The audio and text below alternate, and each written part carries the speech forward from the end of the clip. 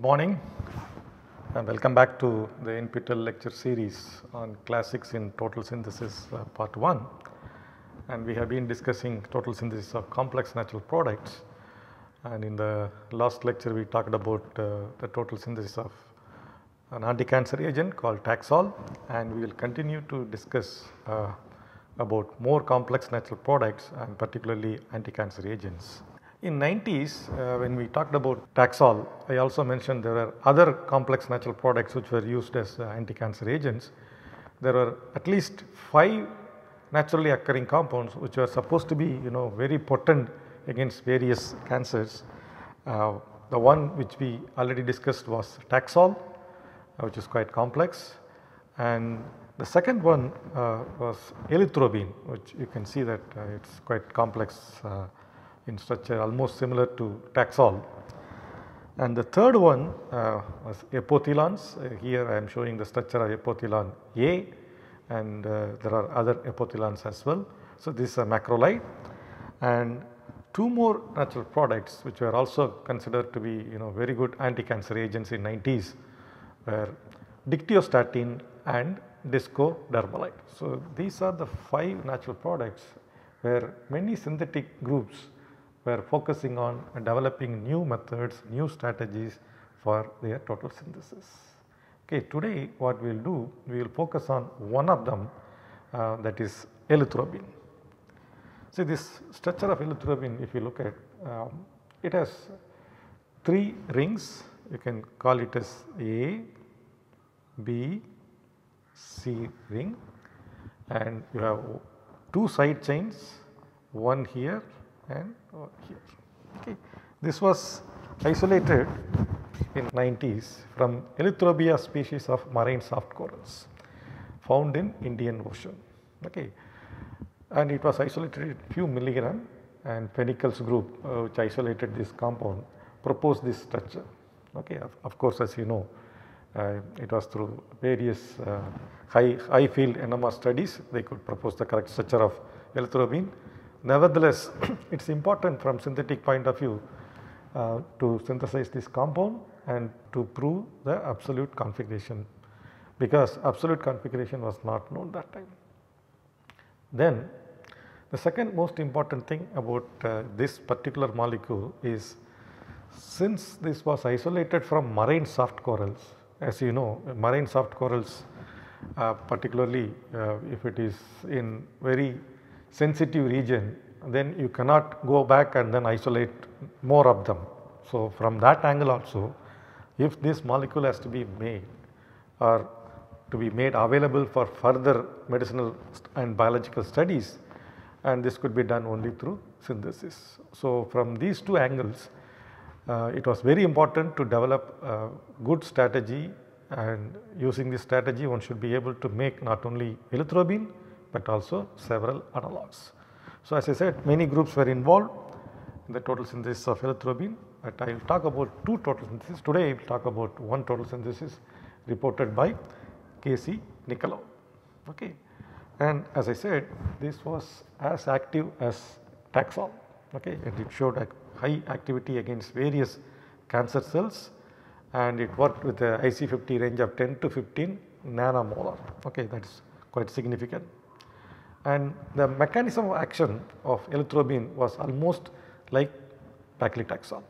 Okay. So, this is another reason why many groups were interested in making this molecule okay. and also it, it worked against various types of cancer like breast, renal, ovarian and lung cancer. From the structural point of view when the synthetic chemist wants to synthesize, it has 3 rings set tricyclic core structure having a 6 membered ring and the middle ring is 9 membered and the right hand side ring is 5 membered. So, all these 3 rings have 6 chiral centers and the middle ring 9 membered ring that is a medium sized ring has 6 substituents. So, construction of 9 membered rings with 6 substituents is quite challenging. And overall in this molecule there were 10 chiral centers and out of that 4 were coming from the sugar, sugar unit. And in addition to the core structure that is the tricyclic ring, 6 membered, 9 membered and 5 membered ring, it also has two side chains, one at the northern hemisphere. So, that is an alpha beta unsaturated system and down it has a arabinose system. Okay, these are the two side chains. So, a successful synthesis of eleutherobin not only should address the synthesis of core structure, but also an efficient synthetic route to the two side chains. And Nicolaou uh, was the first one to report the total synthesis in 1997 and of course as I mentioned one of the major uh, issue was to assign the absolute configuration of uh. So, he could successfully assign the absolute configuration based on the starting material which he used and then further stereochemical elaboration. And the key reaction in the synthesis of epoxylon was an intramolecular addition of lithium acetylide, intramolecular addition of lithium acetylide to an alpha beta unsaturated aldehyde. Okay.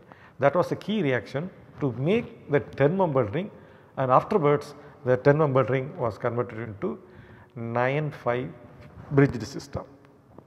Okay. And of course, it was made easy uh, since he started with a commercially available monoterpene called carvone. And look at this structure. So, it is uh, quite complex and his retrosynthesis uh, started with you know removal of this side chain first that can be attached by simple esterification. Likewise, the other side chain this arabinopyranose can also be easily attached. So, the first disconnection of eleutherobin was removal of these two side chains, removal of these two side chains. And the third important connection um, as I said first the starting material is from carvone which has the same 6 membered ring with uh, a double bond methyl group and an isopropyl group. So, it was uh, very easy to identify the starting material and construction of BC ring is quite challenging because A ring is commercially available you have to attach the B and C ring. So, he used 2-3 key reactions one as I said the intramolecular addition intramolecular addition of the triple bond the triple bond later became double bond here. Overall uh, how he planned was he first started with A ring that is A ring at 6 membered ring then he attached a 10 membered ring. Okay. So, the 10 membered ring is the combination of B and C ring. Then the 10 membered ring he converted into 9 and 5. B and C ring he formed from the 10 membered ring. That is how he made essentially 6, 9, 5 tricyclic ring. Okay. Let us see how he did this. First he started with carvone and as you know the carvone uh, has two double bonds. One is electron rich, the other one is electron deficient. So, one can selectively epoxidize the electron deficient double bond in the presence of electron rich double bond by alkaline hydrogen peroxide. So, alkaline hydrogen peroxide epoxidized the electron deficient double bond. So, now what one has to do is to reduce the electron rich double bond. So, that was easily done under standard hydrogenation condition. So, now you have introduced the isopropyl group which is required for eleutherobin A ring. Okay. What is required now? Now you need to attach two substituents at these two carbons. Okay, two substituents at these two carbons.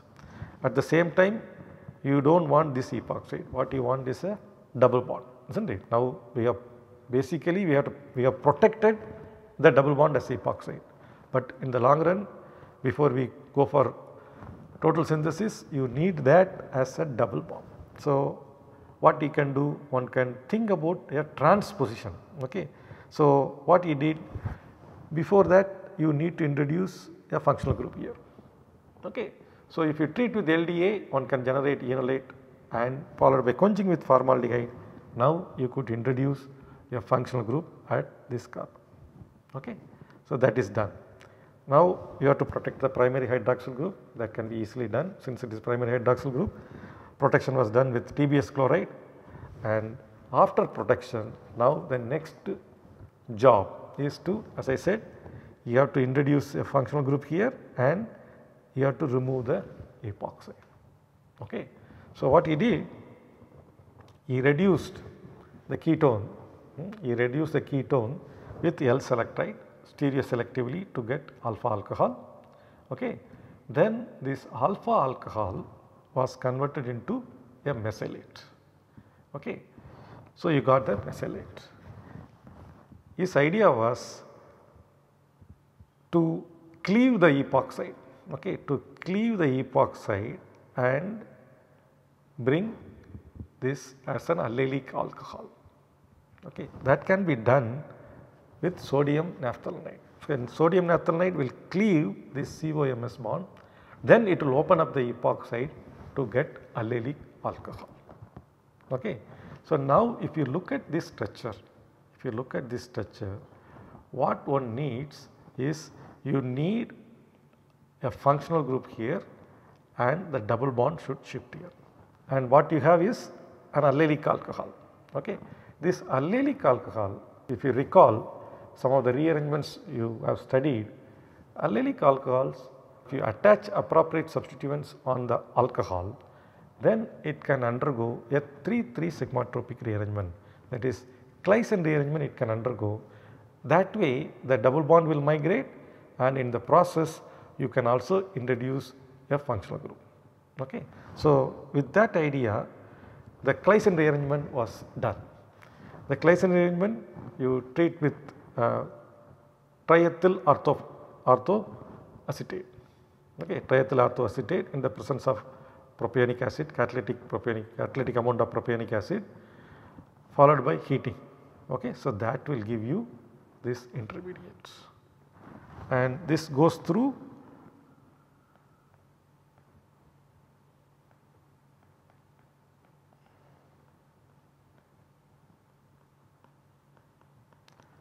this intermediate. On treatment with triethyl orthoacetate, it undergoes intramolecular Claisen rearrangement and that will give you this gamma delta unsaturated ester alpha, beta, gamma, delta unsaturated ester.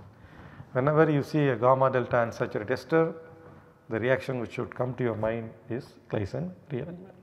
So, now you have an ester and what you need is an aldehyde. So, that can be easily done by reducing with DIBAL-H. Okay. DIBAL will reduce the ester to get the aldehyde. Okay. So, so that is a AB ring fragment. Okay. AB ring fragment that means, so now you have to attach the C ring and then make the BC ring. So, this fragment is made now. So, what is required now? You have to make the two side chains. First you have to make the sugar fragment. So, for that you start with arabinose. So, arabinose when you convert that into acetate that per acetylation will give you this tetraacetate. Okay. Now, if you treat with phenyl thiol in the presence of Lewis acid this anomeric acetate, anomeric acetate can be easily replaced by SPH. It is a standard, standard reaction. So, Lewis acid will coordinate here and then this will expel the OAC. So, you will get an oxonium ion then phenyl thiol will attack and you will get the SPH replacing the OAC. Okay. Then you can remove all the acetate in one part by treating with potassium carbonate methanol. So, you get the corresponding triol. If you look at this triol, these two diols are cis whereas these two are trans. So, cis 1 2 diol can be easily protected as acetonide. So, that is what being done. So, you protect the cis 1 2 diol here and this can be written like this you know it is just 180 degree just rotate if you rotate and this is what you get. Why I have drawn this way was this will be useful while you convert this into chair like transition state. chair like product. Okay. The chair conformation when you want to convert this into chair conformation then this will be more useful than this. So, that is why I ask you to rotate it by 180 degrees. Okay. Now, you see this is the chair conformation and the diol is protected, this diol is protected and the equatorial alcohol now you can protect it as PMB ether. Okay. Sodium hydride PMB chloride will give you the protected PMB ether. Then you can also remove the acetonide. You can remove the acetonide by treating with para-toluene sulfonic acid and water. Okay. Now both hydroxyl groups are protected as uh, TBS ether and this SPH, SPH can be removed by treating with NBS acetone and water. Okay. So this should be converted into a good leaving group now. This should be converted into a good leaving group so that when you make the core structure, when you make the core structure of eleutherobin then you should be able to couple. Okay. So for that you treat with trichloroacetonitrile, okay, sodium hydride and trichloroacetonitrile and this OH becomes OCNHCCl3 that is trichloroacetamide. Okay. So this is the sugar fragment which we need to couple with their allylic alcohol. In the B ring you will have an allylic alcohol that allylic alcohol you have to combine. Okay. So we have made now the sugar fragment and then AB ring fragment and the third fragment which we need is the alpha beta unsaturated carboxylic acid. So this is a commercially available uh, compound and it can be also easily prepared from the corresponding aldehyde. If you have an aldehyde here okay, then one can do Wittig reaction to get this alpha beta unsaturated ester then hydrolyze the ester to get the corresponding acid or in situ one can also add pivalyl chloride. So, to get this mixed anhydride. Okay. So, now you have the side chain of the northern hemisphere and you also have the sugar fragment and you have the AB fragment what you need is you have to attach the C fragment. So, how one can do that is you have this aldehyde okay. So, this upon treatment with ethyl vinyl ether and tertiary butyl lithium. So, what does it do? When you have ethyl vinyl ether on treatment with tertiary butyl lithium it will pick up this proton and it will generate this lithium species. Okay. This lithium species will add to this aldehyde and you will get the corresponding allylic alcohol. Okay. And this is enol ether is not it? This is still enol ether. So, the enol ether upon hydrolysis with acid you will get the corresponding ketone. Okay. Now, as I said you have to make C ring also and the key reaction in the total synthesis of eleutherobin by Nicolaou is intramolecular addition of lithium acetylide. So, that means you need to add a triple bond. So, the triple bond was added in the form of acetylene magnesium bromide. Okay, you take acetylene and then treat with you know convert into the corresponding Grignard. This gives you the corresponding tertiary allylic alcohol. So, once you have this tertiary allylic alcohol, now what one can do see the TBS which is protected uh, the primary alcohol can be cleaved with TBAF to get the corresponding primary alcohol. Okay. Once you have this primary alcohol you already have a secondary alcohol and tertiary alcohol. Okay. All the hydroxyl groups can be now protected as TS ether. Okay.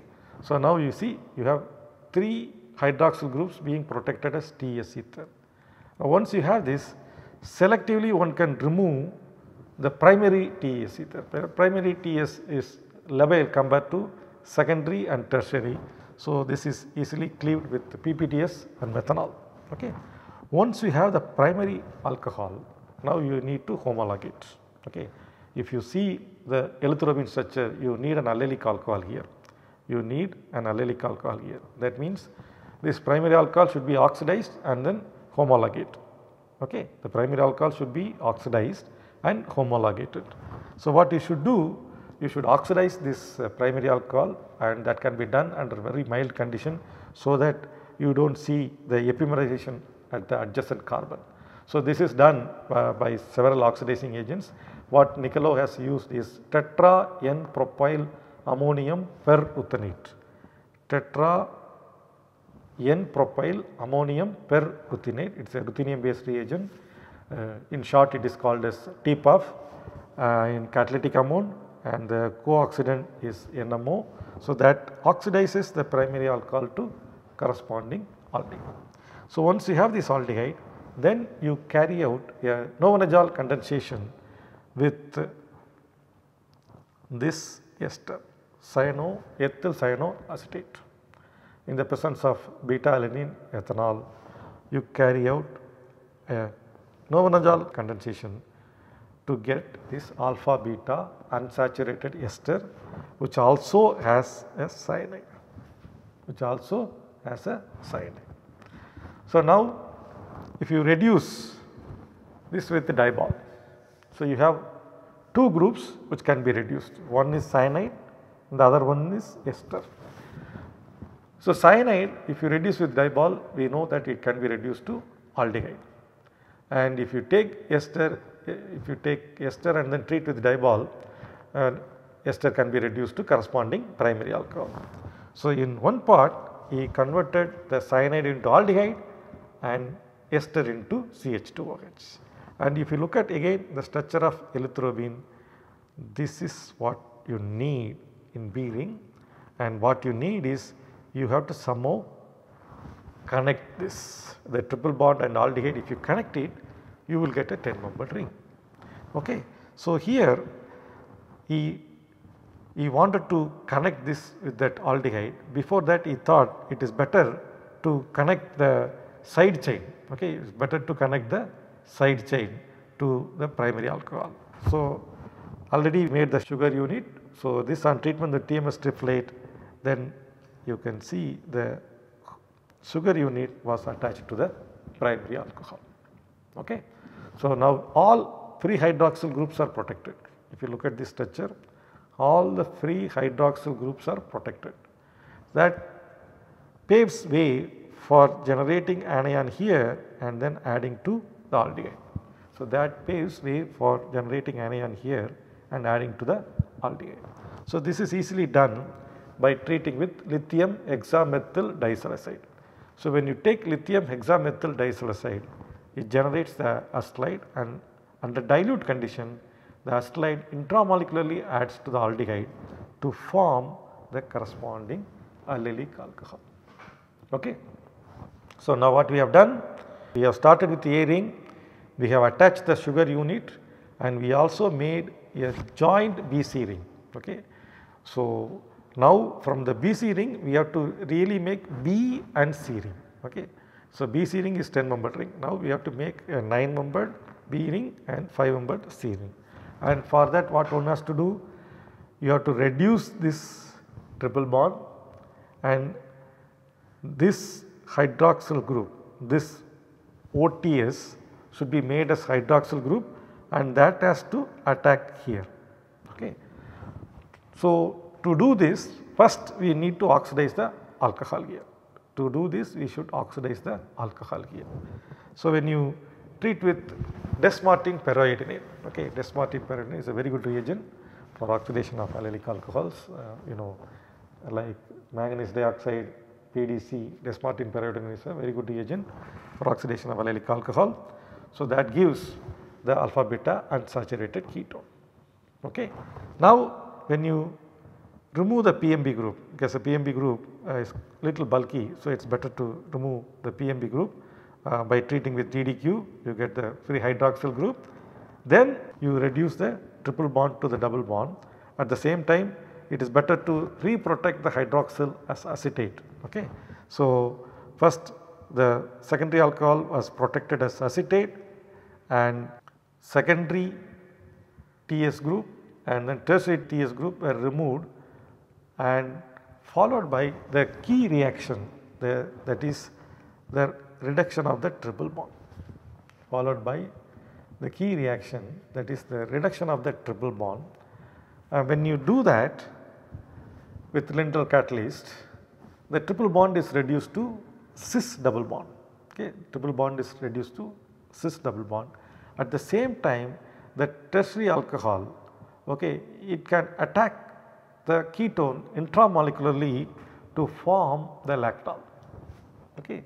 So, now you can see the real core structure of eleutherobin A, B, C ring. Everything is there. What needs to be done is you need to convert this hydroxyl into methoxy and also attach the side chain. Okay. So, these two can be done subsequently. First you treat this with PPTS methanol. So, PPTS methanol what happens if this makes this hydroxyl as a leaving group and then the lone pair comes and then this breaks that oxonium ion was attacked by methanol to form the methoxy. Okay, the oxonium ion was attacked by methoxy group that is methanol to get the methoxy group. Okay.